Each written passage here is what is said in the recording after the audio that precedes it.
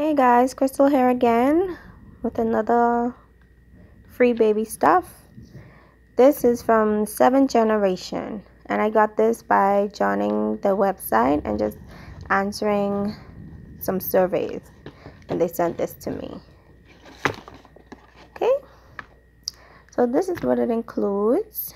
It includes a little sample of uh, moisture lotion made from coconuts, pure coconut oil there's um, free sampled wipes, two wet wipes, fragrance free. And it came with two newborn diapers, sensitive skin.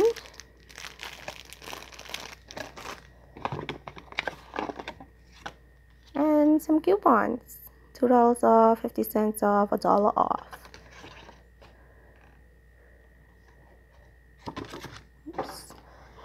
And I love this little cute box. I'm gonna save this to put little trinkets in.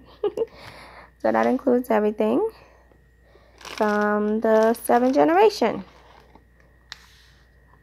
So if you guys are interested, I'll leave the link at the bottom. Thanks for watching. Like and subscribe. Enjoy your day.